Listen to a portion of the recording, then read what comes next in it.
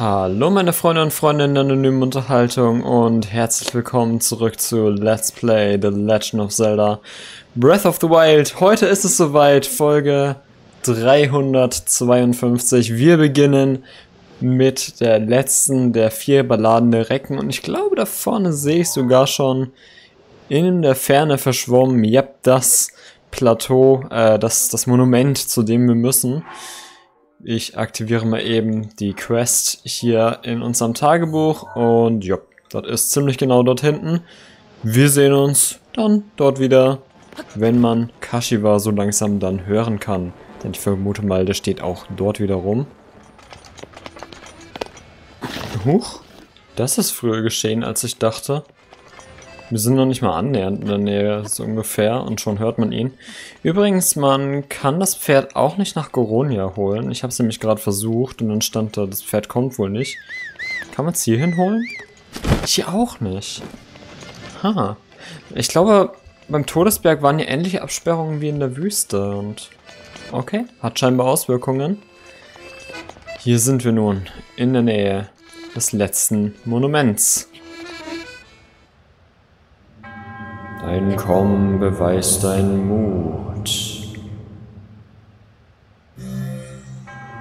An den Orten, die dir gezeigt werden, findest du Prüfungen, die dich stärker machen sollen. Doch stelle dich ihnen nicht leichtfertig.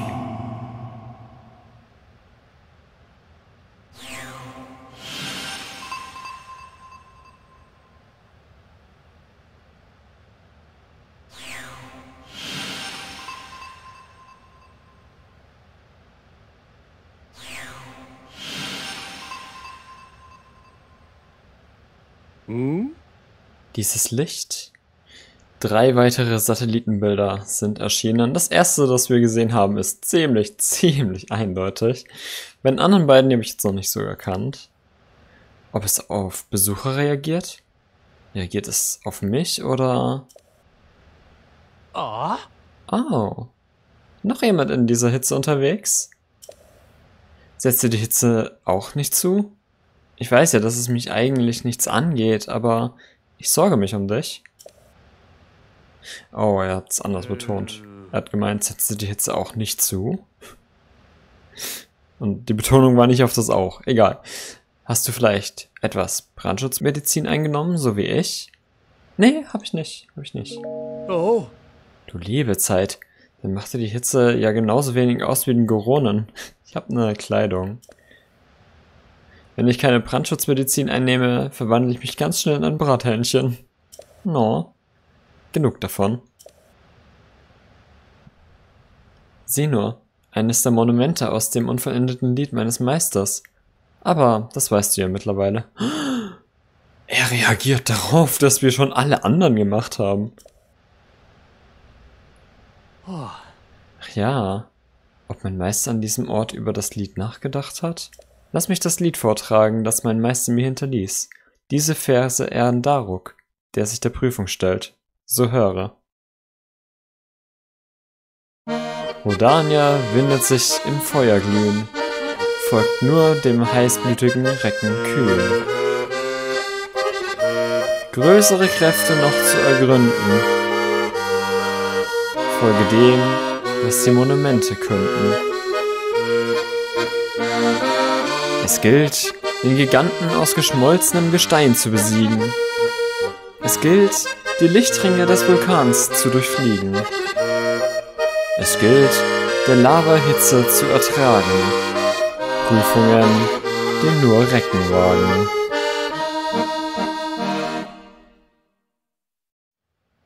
Ach, das war doch eine heitere Melodie. Und? Was meinst du? Ich glaube, ich verstehe die Recken jetzt besser. Ich bin kurz davor, alle grundlegenden Verse zu vervollständigen.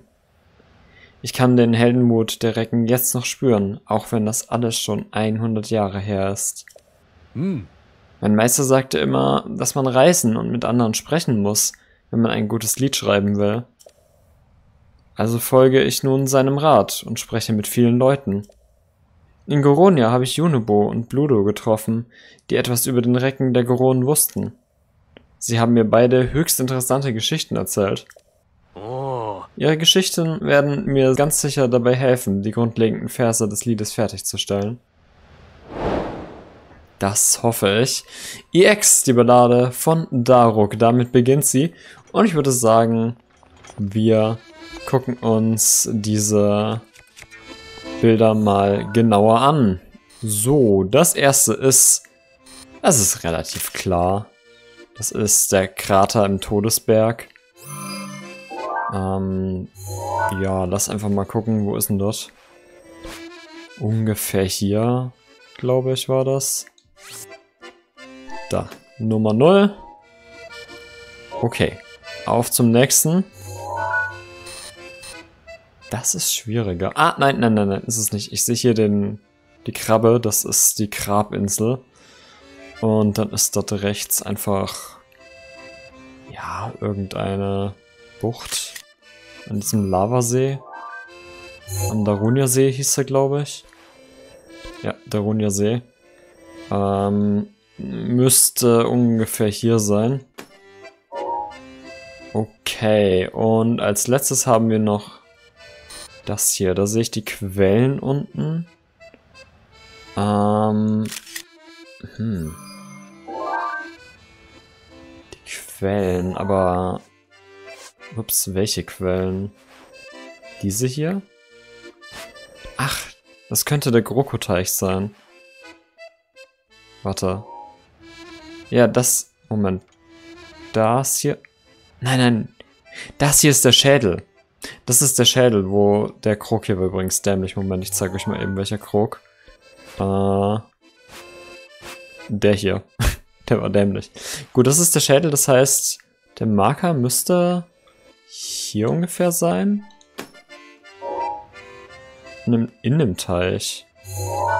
Ähm, das macht, wie gesagt, eigentlich keinen großen Unterschied, aber aus Gründen der Korrektheit packe ich ihn mal in den Teig.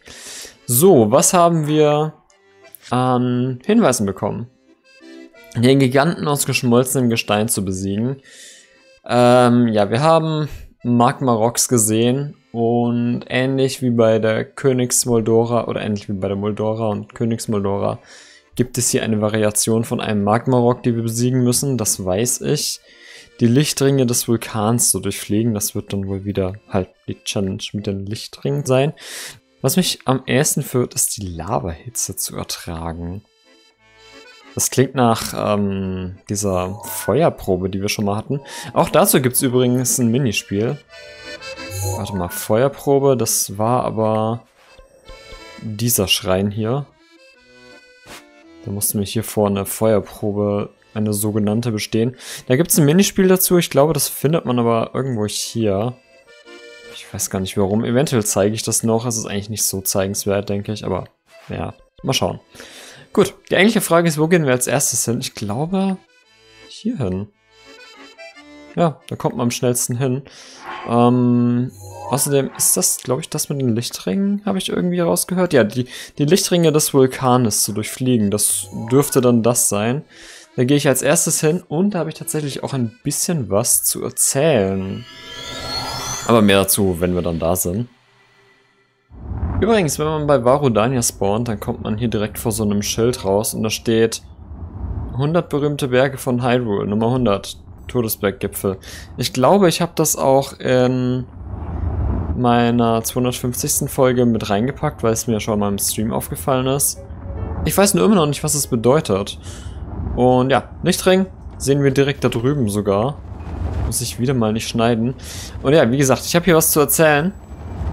Nämlich, diese Lichtringe sind besonders, gewissermaßen. Und zwar hat Aiji Anuma, einer der Produzenten, ich hatte das verwechselt, er hat zu dieser Mission hier gesagt, dass er sie schwierig fand. Das ist einer der Produzenten der Serie. Ich hatte das verwechselt mit der Mission für diesen Schrein hier. Du musst mir auch durch Lichtringe fahren. Äh, ja, war nicht ganz richtig. Es waren die Lichtringe in dieser Mission und da habe ich glaube ich auch gemeint, Miyamoto hätte das gesagt. Aber nein, es ist diese Lichtring-Mission und Eiji Anuma hatte das für schwer befunden. Deswegen, ich habe Respekt und ich bin gespannt. Let's go. Wie immer, ähm, wenn irgendwas hier nicht hinhaut, vom Timing und so, dann werde ich beim letzten geschafften Ring reinschneiden. Diese Strecke hier ist mir auf jeden Fall noch aus den Krogsame Streams bekannt, denn ich bin von jedem Zacken aus diesen Berg einmal runtergeflogen. Kann ich auch nachher noch auf der Map zeigen. Das heißt, ja, ich kenne das hier sehr gut. Diese Gegend hier bin ich garantiert auch schon mal runtergeflogen. Genau diesen Lavastrom. Eigentlich, warte, ich gucke das jetzt nach. Ja, hier seht ihr das. Und ja, ein bisschen weiter links bin ich dafür geflogen, damals. Okay, darunter. Und ich gebe zu, es ist ein bisschen tricky, die Höhe und alles einzuschätzen. Ich glaube, hätte ich am Anfang keinen Rivalis Sturm übrig gehabt, dann wäre ich auch ein bisschen gearscht gewesen. Hatte ich aber zum Glück übrig. Und da drüben ist das Finale. Ja, es, also ich will es mal noch nicht mal Maul vorschnell aufreißen hier zu weit, aber allzu schwierig fand ich das jetzt ehrlich gesagt nicht. Jetzt kann ich sagen, in Sicherheit und Dankbarkeit. Gut. Erster Schrein von dreien ist damit freigeschalten. Machen wir noch direkt in der nächsten Folge. Für diese schauen wir noch, wie heißt denn das gute Stück hier? Der Schadolon-Schrein. Okay. Ähm, außerdem lösche ich mal eben den Punkt hier. Schadolon-Schrein. Den machen wir dann in der nächsten Folge. Wie gesagt. Wo genau sind wir jetzt eigentlich? Ich habe irgendwo... Ach, das ist der Schrein. Ich hatte mal gesehen, wo die ganzen Schreine sind. Ich wusste irgendwo hier, wirklich am Hinterteil der Welt, hinterm Todesberg, wo sonst nichts ist, ist ein Schrein, habe ich gesehen. Dann ist das der hier. Okay. Ja, wie gesagt, nächster Part. Ich hoffe, euch hat dieser gefallen, auch wenn er jetzt vielleicht ein bisschen auf der kürzeren Seite war. Wir sehen uns auf jeden Fall wieder im Shadowlohn-Schrein. Bis dahin, vielen Dank fürs Zusehen. Haut rein. Euer Anonymous.